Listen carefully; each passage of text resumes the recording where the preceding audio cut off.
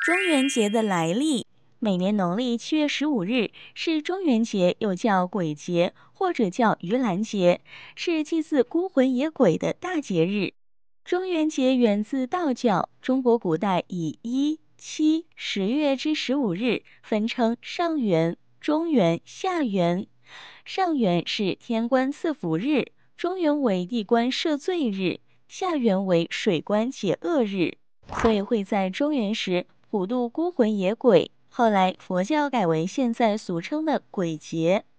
盂兰节在印度语中意指倒悬，倒悬指的是释迦十大弟子木莲的母亲死后受恶鬼之苦，不能吃东西，后来得到释迦帮助。用百味无果供养十方神佛，并积功德救母亲，所以现在为了祭祀孤魂，都在鬼月农历七月举行普渡会，现在叫鬼节。